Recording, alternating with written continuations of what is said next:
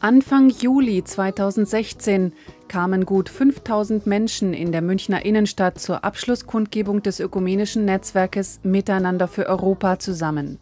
Schon im Rahmen eines zweitägigen Kongresses im Zirkus Kronebau hatten sie sich ausgetauscht und sich ihrer gemeinsamen Ziele vergewissert, jenseits kultureller, nationaler und konfessioneller Unterschiede. Einheit ist möglich, 500 Jahre Trennung sind genug. Unter diesem Titel setzten Engagierte aus mehr als 200 christlichen Bewegungen, Gemeinschaften und Werken ein Zeichen für Versöhnung und ein Miteinander der Konfessionen.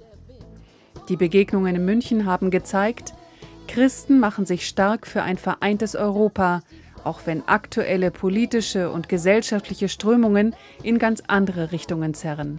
Verantwortliche der verschiedenen Gemeinschaften beschreiben, wie sie die Situation unseres Kontinents wahrnehmen. Das Miteinander ist in Europa heute nicht selbstverständlich, aber es ist bestimmt nötig.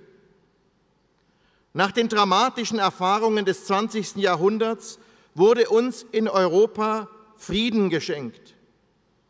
Eine kostbare Gabe, die wir miteinander schützen und bewahren müssen. Europa steckt seit längerer Zeit in einer kulturellen und existenziellen Krise. Es durchlebt die Nacht seiner Prinzipien, seiner Rolle in der Welt, die Nacht seiner Träume. Europa ist auf der Suche nach einer totalen Freiheit. Es erkennt die eigene Kultur nicht mehr an, die sich in 2000 Jahren christlicher Tradition herausgebildet hat.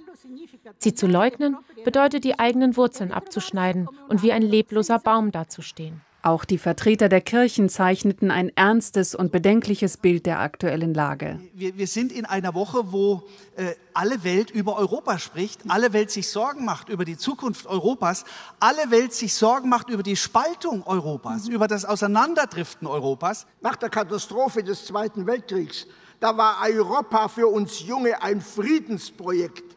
Aus Feinden sollten Freunde werden und wir sind es geworden.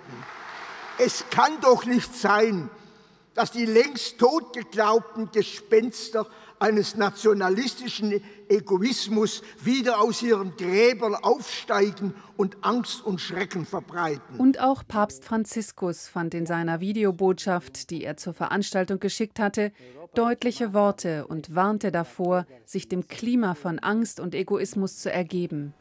Oltre ad alcuni muri visibili si rafforzano anche quelli invisibili che tendono a dividere questo continente.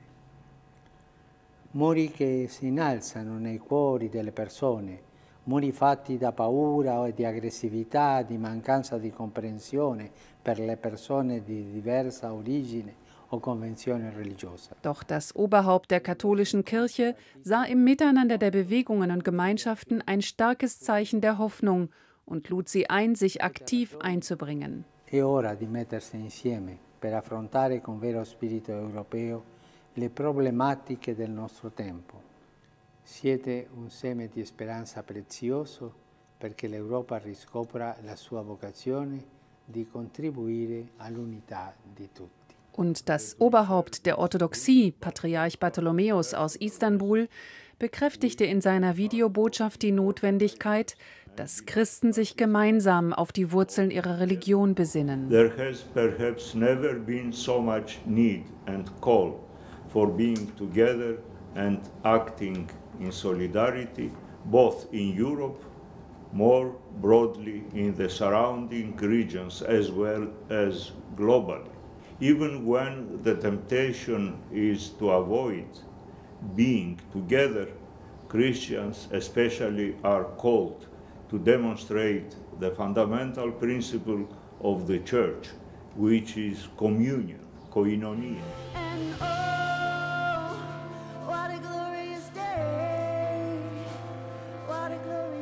Oh, und die Vertreter und Verantwortlichen der Gemeinschaften zeigten Wege in die Zukunft auf.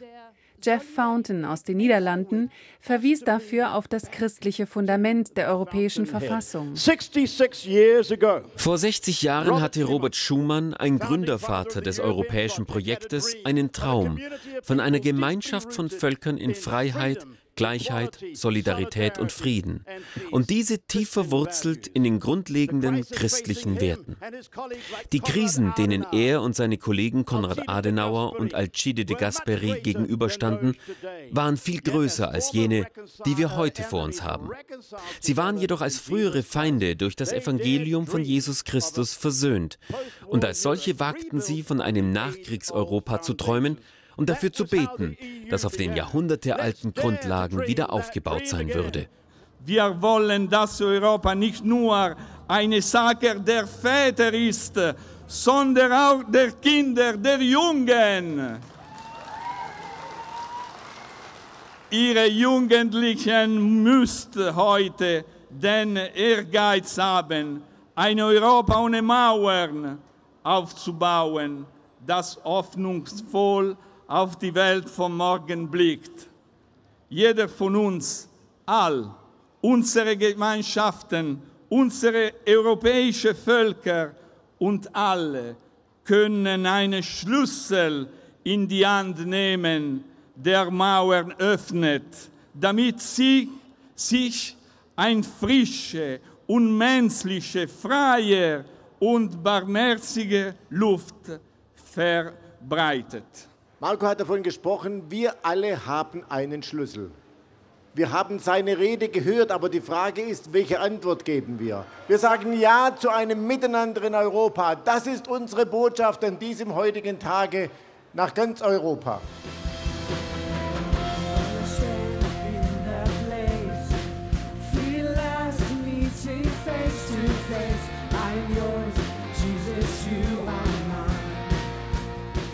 Wie sie Verantwortung wahrnehmen wollen in Gesellschaft und Kirchen und für welchen Traum von Europa sie bereit sind, sich mit Engagement einzubringen, das formulierten anschließend Jugendliche verschiedener Gemeinschaften und Länder. Ich hoffe, dass Europa ein Ort werden kann, der weniger individualistisch und stattdessen warmherziger gegenüber allen ist. Ich kämpfe für ein harmonischeres Europa. Ich stelle mir Europa so vor, dass jeder Einzelne seinen Nächsten annimmt und sich dafür interessiert, was prägt meinen Nächsten und an was glaubt mein Nächster. Und ich möchte mich dafür einsetzen, dass wir aufeinander zugehen, dass wir uns wahrnehmen und so ein Europa schaffen, das uns gegenseitiges Vertrauen, Hoffnung und Respekt voreinander einbringt, dass wir da wachsen können. Pater Heinrich Walter von der Schönstadtbewegung fasste zusammen.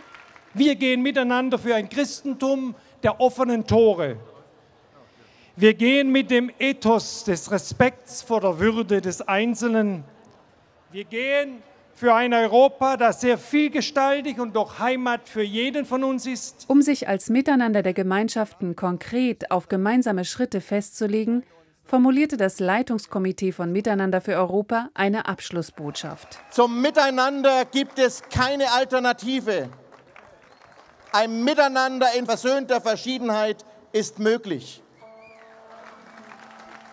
Wir gehen den Weg der Versöhnung und helfen mit, dass unsere Gemeinschaften, Kirchen, Völker und Kulturen in Vielfalt geeint leben können.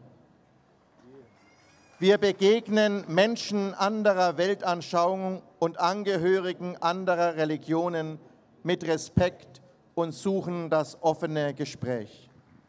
Wir setzen uns dafür ein, dass Mitmenschlichkeit und Frieden auf der Welt wachsen.